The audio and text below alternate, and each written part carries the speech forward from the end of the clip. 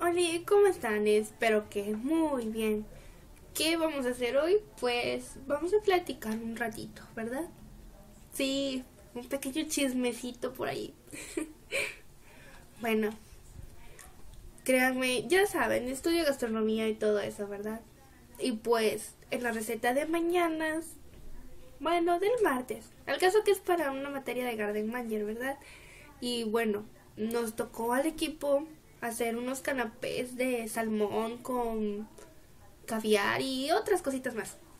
Bueno, como el salmón no lo venden así en tiendas muy cercanas y eso, pues fui hasta el Soriana Central. Ya saben, vivo en Monterrey. Ahí me bajé en esa estación del metro y pues fui al Soriana, ¿verdad?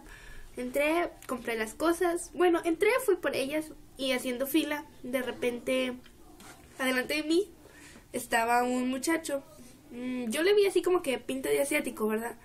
Dije, ah, de seguro es el de la comida china de aquí, ¿verdad?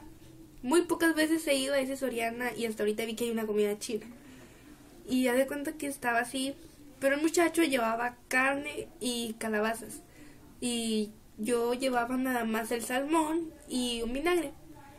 Y como que el muchacho no hablaba bien español y eso. Y de repente cuando ya ves, está la bandita que corre, ¿no? Y le empieza a preguntar la cajera de ¿qué es esto? Y el chavo así como que de que "Mm, no sé, no sé. Y era una calabaza, una calabacita de las que venden aquí en México que son verdes así estiraditas. Era una calabacita. Y me pregunta la cajera, ¿usted viene con él? Yo, no, jamás lo he visto en mi vida. Y ya luego el muchacho estaba así de que, "Mm, no, no sé, no sé. Y luego con el traductor veía yo de que, yo le pregunté de que se hablaba español, pero primero me dio risa que le dije, ni hao, ni hao ma, porque se me quedaba viendo mucho. Y yo de que, no, pues le voy a decir, hola, no sé, algo así. Y él me dijo, Kobamba mm, Oyasumi, no sé, ¿verdad? No, no sé japonés. Yo de que, no, pues este chavo no es chino. y yo todavía hablándole en chino, ¿verdad? Y fue así como que, wow. Y luego pues ya, al ver de que ni él ni yo nos entendíamos, pues ya le dije, ¿español? Y él me dijo, poquito. Y me de cuenta que usó la calabacita y me la enseñó. Y me dijo, ¿tú saber? Yo, sí, es una calabacita. Y ya él le mostró la cajera. Calabacita, calabacita. No sé, fue gracioso. Y ya pues pagó al muchacho. Y ya luego seguía yo de pagar, ¿verdad? Pero, no sé, se me quedaba viendo mucho. Yo de que ya, deja de mirarme o algo así. Y ya cuando pagué todo eso, pues él salió antes, pero se quedó ahí en una de las banquitas que hay en el Soriana. Y ya cuando yo pasé, pues yo X pasé, iba escuchando música. Y de repente pues me agarró así del brazo. Yo de que, "Ay, ¿qué? Y cuando me dijo, tu Facebook, y sacó el celular, yo de que, ah, sí. Y ya pues le puse, Cindy Kim. Y a la vez pues me dijo, teléfono, yo, este, desde que mi teléfono. Y luego me dice, no, no, teléfono, yo a ti hablarte. Yo, ah, órale. Ya pues le pasé mi número. Y ya despuesito me dijo, ¿tú vives aquí en Monterrey? Yo, sí. Y me dijo, ¿y ahorita dónde vas? Yo, no, pues a mi casa. Y le digo, ¿tú? ¿Casa o trabajo? No, casa, trabajo, comida. Yo, ah, ok.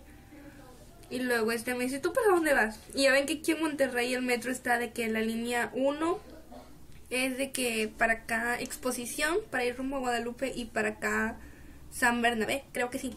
Y ya de cuenta que yo le dije, no, pues yo para exposición, porque me iba a bajar en Cuauhtémoc. Y él me dice, no, yo Simón Bolívar. Yo, ah, ok, no, muy bien. Y después me dijo un montón de cosas en japonés que yo ni siquiera entendí.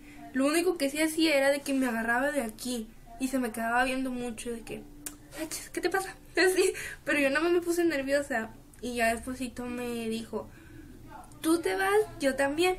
Y pues obviamente son direcciones diferentes. Y ya pues le dije, sí, ya aquí, adiós.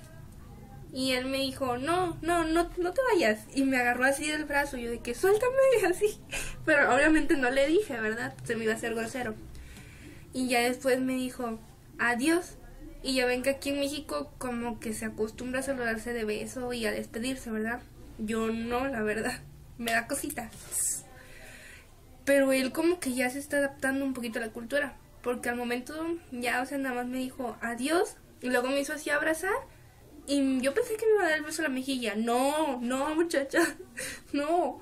Bien abusado. Me di cuenta que me hizo adiós y me abrazó. Y de repente cuando veo el beso aquí en la boca, yo se lo iba a dar en la mejilla también correspondido. Y me dijo, tú bonita. Yo, oh, órale. Gracias. Así. Y ya despuésito, pues ya, nos subimos así cada quien al metro. No, muchachas, les juro que yo iba en la escalera eléctrica así como que ya a punto de caerme. Sí, de hecho hasta choqué con una chava, una señora, no sé. Pero choqué con una y yo de que, ay, perdone, perdone. Les juro, iba yo tan ida y es que aparte el mugre japonés estaba bien guapo. Y así, y de cuenta que estuvimos así platicando por Face y eso. Estamos platicando, ¿no? Por Face. Y pues me dice cosas bonitas y yo de que, ah, órale. Y como no soy tan cursi, pues no, no se me da, ¿verdad? Pero pues X, no sé. Yo le pregunté qué edad tenía. Y me dijo, poquitos años. Yo, ah, digo, lo sé más seguro que no me he entendido, ¿verdad? Y ya despuesito me, me dio tanta risa. Que me dice, yo a ti, tu casa, yo. Ah". Y yo más o menos quiero a lo mejor entender de que me quería llevar a mi casa o no sé qué onda. Porque después ya cuando nos subimos así al metro, obviamente, él quedó de este lado, yo de este lado. Y pues ya de aquel lado nada me estaba sonriendo y me decía así adiós. Incluso ya cuando venía, como llegó primero, así para mi dirección, me hizo adiós y me hizo así como que yo te llamo o algo así. no sé, o sea, fue tan, tan de wow, tan divertido. Y bueno, luego ya llegué a la estación donde tenía que bajarme y de repente que suena el celular y, y es él. Yo dije, ahora pues qué quiere este chino. y ya pues me empezó a hablar más y más y pues es la hora en que seguimos platicando por Facebook, pero no sé, me entró la duda de que cuántos años tendrá, porque yo le pregunté, pero yo creo que no me entendió, la verdad.